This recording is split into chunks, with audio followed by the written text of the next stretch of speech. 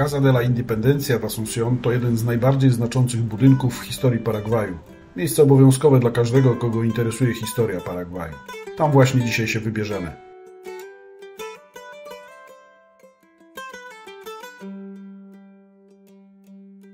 Ten zabytkowy dom znajduje się w dzielnicy La Encarnación, w sercu historycznego centrum Asunción, na rogu ulic Prezydenta Franco i 14 Maja. Zbudowany w 1772 roku, w typowym dla swoich czasów stylu kolonialnym, dom stał się nieodłączną częścią historii Paragwaju. Mieszkało w nim i bywało wiele postaci, które odcisnęły piętno na historii Paragwaju. Był miejscem, w którym potajemnie spotykali się młodzi paragwajscy spiskowcy, dążący do uniezależnienia Paragwaju od hiszpańskich rządów. Omawiali w nim aktualne wydarzenia polityczne w Europie i Ameryce Południowej. Bywali tutaj m.in. Pedro Juan Caballero, Juan Batista Rivarola, Antonio Tomás Yegros czy Fernando de la Mora.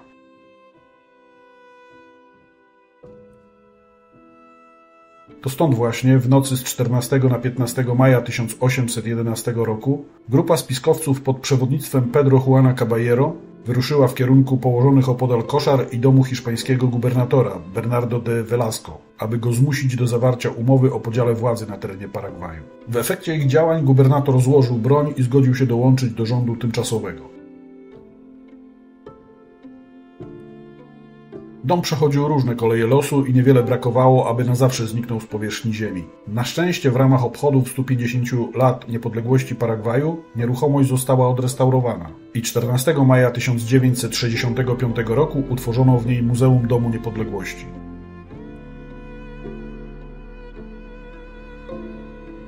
Muzeum obejmuje kilka pomieszczeń. Przechowywane są tu ważne dokumenty z tego okresu, meble z epoki, w tym będące niegdyś własnością paragwajskich bohaterów narodowych, ich portrety, obrazy pokazujące najważniejsze momenty historii Paragwaju, dokumenty oraz przedmioty codziennego użytku.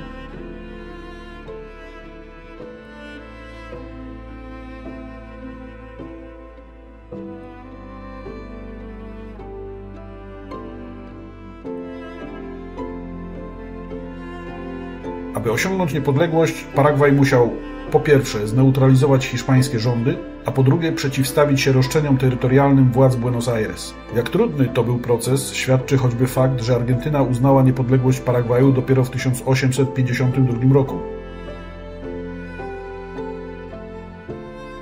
Paragwaj to pierwszy kraj w Ameryce Południowej, który uzyskał niepodległość i jako pierwszy uniezależnił się od rządów Hiszpanii w wicekrólestwie Rio de la Plata. A co ważniejsze, to jedyny kraj na kontynencie, który wybił się na niepodległość bez rozlewu krwi.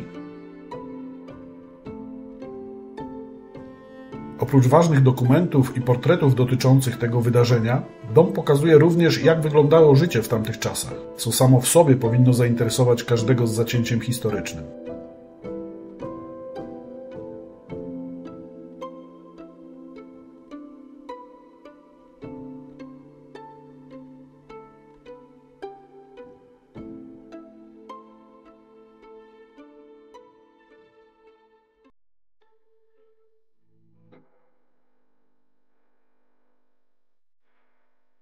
Budynek dzisiejszego muzeum to dom zbudowany na planie czworokąta wokół wewnętrznego patio, przykład XVIII-wiecznej hiszpańskiej architektury kolonialnej.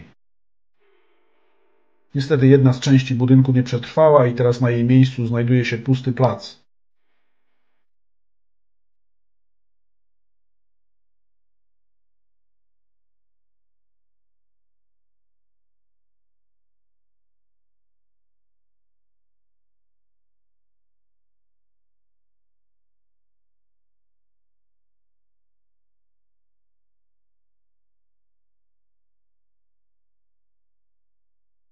Casa de la Independencia można odwiedzać bezpłatnie i codziennie, z wyjątkiem niedziel. Jeżeli chcielibyście w czasie zwiedzania dowiedzieć się nieco więcej, a nie znacie hiszpańskiego, musicie pamiętać, że wszelkie informacje w muzeum są w języku hiszpańskim.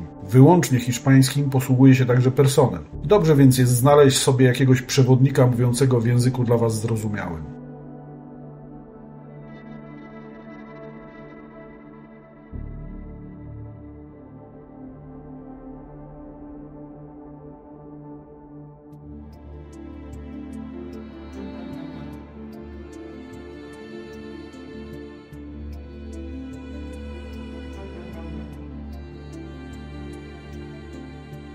Wychodząc z jednego z pomieszczeń na zewnątrz budynku, znajdujemy się w wąskiej alejce zwanej dzisiaj Callejon Historico, którą, jak głoszą przekazy, spiskowcy wyruszyli pamiętnej majowej nocy w kierunku domu gubernatora.